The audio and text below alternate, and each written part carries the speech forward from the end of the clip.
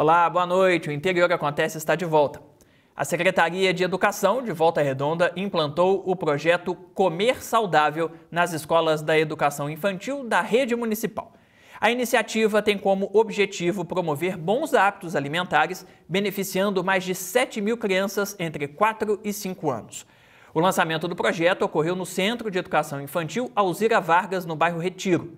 A intenção é estender o projeto para as escolas de ensino fundamental, o que incluiria mais 13 mil alunos do primeiro ao quinto anos. Barra Mansa está fazendo uma campanha para buscar novos doadores de sangue. A intenção é estabilizar os estoques, já que alguns tipos estão escassos. E isso acontece com mais frequência no inverno, porque o número de doações cai no tempo mais frio. Atualmente, os tipos A, B e O negativos estão em estágio crítico e os tipos O e B positivo e AB negativo estão em baixa.